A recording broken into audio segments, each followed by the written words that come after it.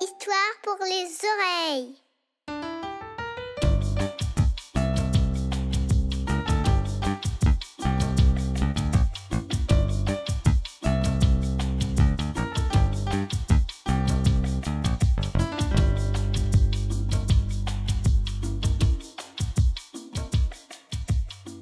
Il était une fois dans une clairière au fond d'un bois, jolie petite maison au toit de paille. Et dans cette maison vivaient trois ours. Il y avait le papa ours qui était très grand, la maman ours de taille moyenne et le tout petit bébé ours minuscule. Chacun possédait un bol. Un grand bol pour papa ours, un moyen bol pour maman ours et un tout petit bol pour bébé ours. Et chacun avait une chaise pour s'asseoir, une grande chaise pour papa ours, une moyenne chaise pour maman ours et une toute petite chaise pour bébé ours. Et dans la chambre, il y avait trois lits pour dormir. Un grand lit pour papa ours, un moyen lit pour maman ours et un tout petit lit pour bébé ours. Ce matin-là, maman ours préparait le petit déjeuner. Une bonne bouillie qu'elle versa dans les trois bols. Oh, la bouillie est trop chaude. Si nous la mangeons maintenant, elle nous brûlera la langue. Allons nous promener en attendant qu'elle refroidisse. proposa papa ours. Oui, allons nous promener. On cueillera des myrtilles et des framboises. répéta bébé ours. Ils prirent un panier chacun et ils s'enfoncèrent dans les bois.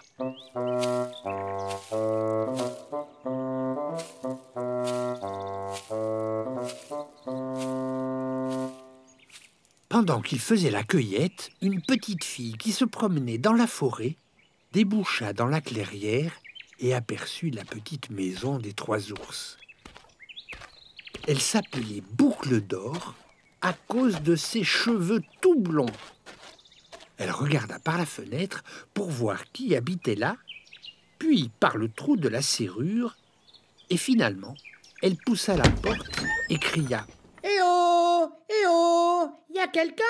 Comme personne ne répondait, elle entra dans la maison. Elle vit sur la table de la cuisine les trois bols remplis de la bonne bouillie pour le petit déjeuner. Comme elle avait très faim, elle eut très envie d'y goûter. Elle goûta la bouillie de papa ours.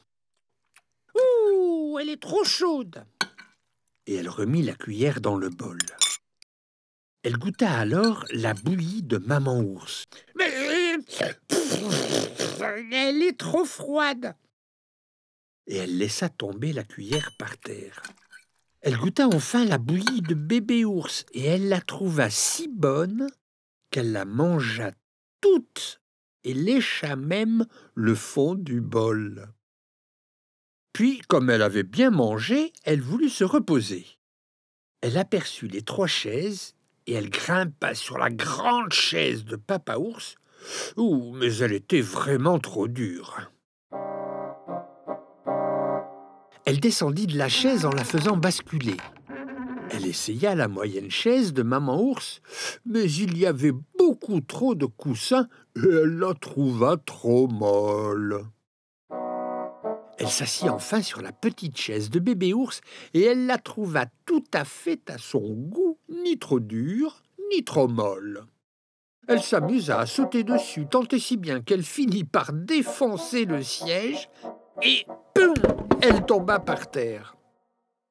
Je suis fatiguée, je dormirai bien un peu. Elle monta dans la chambre où elle aperçut trois lits. Elle se hissa sur le grand lit de Papa Ours et comme il était très haut, elle s'agrippa aux couvertures qu'elle fit tomber par terre. Mais il était bien trop dur, il lui faisait très mal au dos. Alors, elle essaya le moyen lit de Maman Ours, mais elle avait beau jeter les oreillers par terre, il était bien trop mou. Elle s'installa dans le petit lit de bébé ours qu'elle trouva juste comme il faut. Pas trop dur, pas trop mou et très confortable et douillet. Elle s'enfouit sous les couvertures et elle s'endormit. Pendant ce temps, les trois ours rentraient de leur promenade. Les paniers étaient pleins de framboises et de myrtilles, et il était temps de manger la bouillie. Lorsqu'ils posèrent leur panier sur la table, ils s'aperçurent que quelqu'un était venu. Quelqu'un a goûté ma bouillie dit Papa Ours de sa grosse voix bourrue en voyant la cuillère dans son bol. Quelqu'un a goûté à ma bouillie fit Maman Ours en voyant sa cuillère par terre. Quelqu'un a goûté à ma bouillie et a tout mangé pleurnicha bébé ours de sa toute petite voix. Ils commencèrent à regarder autour d'eux et ils virent qu'on avait déplacé les trois chaises. Quelqu'un s'est assis sur ma chaise gronda Papa Ours de sa grosse voix bourrue en remettant sa chaise en place. Quelqu'un s'est assis sur ma chaise, dit Maman Ours en remettant les coussins en place.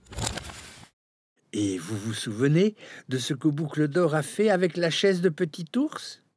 Quelqu'un s'est assis sur ma chaise et l'a toute défoncée, pleurnicha Bébé Ours de sa toute petite voix. Les trois ours montèrent ensuite dans leur chambre. Quelqu'un a couché dans mon lit grogna Papa Ours de sa grosse voix en voyant les couvertures par terre.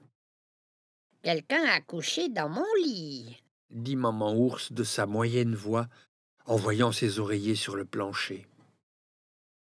Quelqu'un a couché dans mon lit et il dort encore s'exclama le bébé ours, tout surpris.